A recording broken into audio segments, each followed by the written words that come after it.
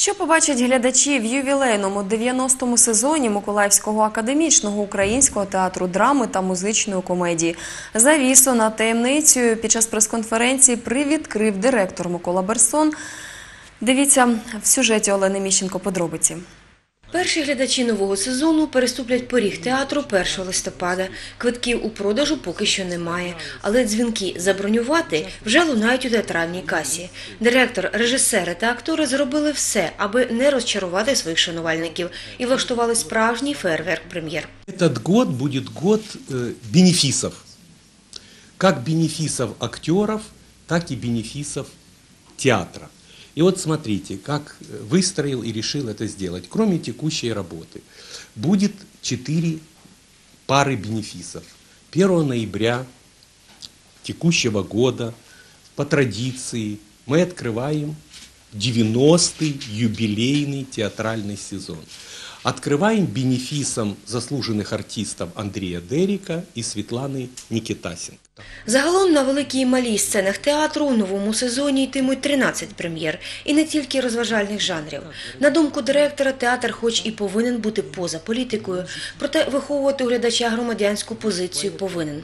Приклад таких вистав «Хазяїн Карпенка Карого» – класичний український твір, максимально наближений до сучасних реалій режисером Максимом Голенком.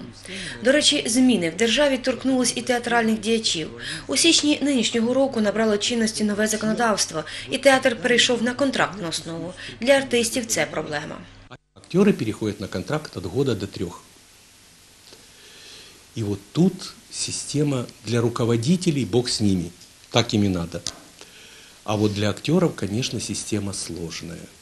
Вы понимаете, все теперь зависит только от одного человека. Если вот мы идем на, сейчас на конкурсы, да, там будет 6-9 человек, 3 управления, 3 того, 3 того, то актер только с директором.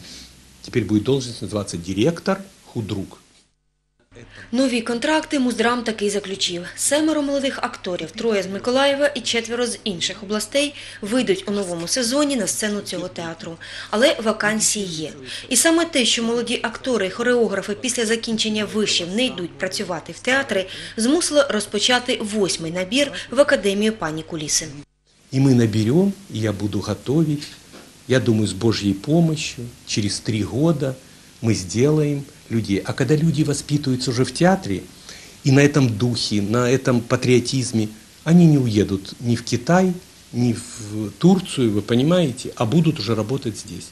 Але попри адміністративні труднощі, творчість не страждає. Актори працюють, добирається цікавий матеріал, запрошуються молоді креативні режисери.